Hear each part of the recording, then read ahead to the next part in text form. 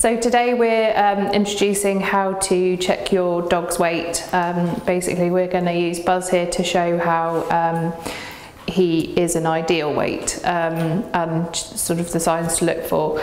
Um, so basically you can look at a dog and think that it's an ideal weight, but actually touching is probably the best way to feel. Um, so the best indication as to whether you can feel their ribs. Um, on an ideal weight, you should be able to feel the ribs but not see them. Um, so with Buzz, we get his bottom us, good boy. Um, you actually want to feel every single one of his ribs, which I can. They're out a little bit in their chest and then they come in and they've got this waist.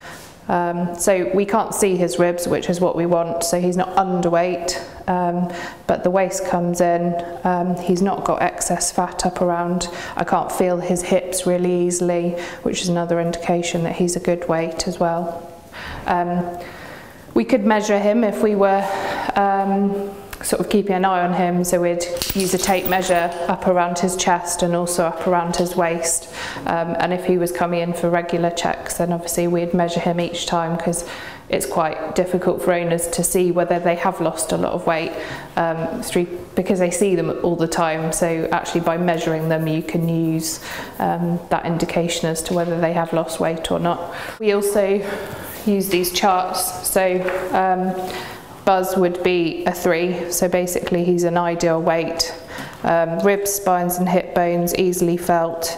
He's got a visible waist with an abdominal tuck and a small amount of fat can be felt, which is perfectly normal.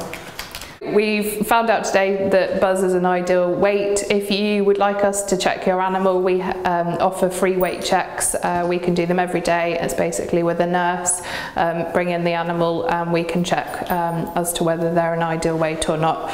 Um, if they are over, then we would put together a weight loss plan for you and the dog um, in terms of exercise and food um, and just ba basically a general daily routine.